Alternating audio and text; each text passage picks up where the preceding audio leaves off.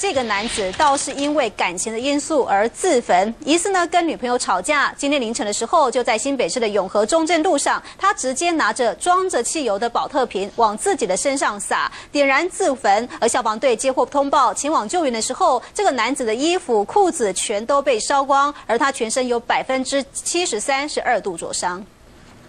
警方拉起封锁线，地上还留着燃烧过后的衣服，男子躺在地上，裤子也被烧光，脚还不断挣扎，一旁保特瓶里还装着汽油。女友在现场，表情凝重，医护人员进行包扎，将男子送上救护车。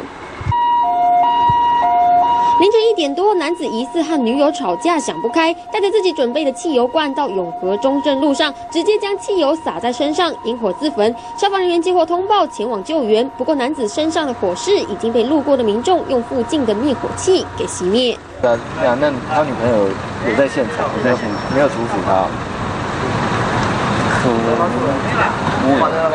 现在要去跳那边，然后但是这边。男子因为一时的冲动，造成身上百分之七十三的二度灼伤和百分之二十三的一度灼伤，目前已经送往医院急救。不过因为和女友发生争执，带着汽油自焚，全身烧伤，身体、心理都受创。中天新闻女荣生吴怡轩新北市报道。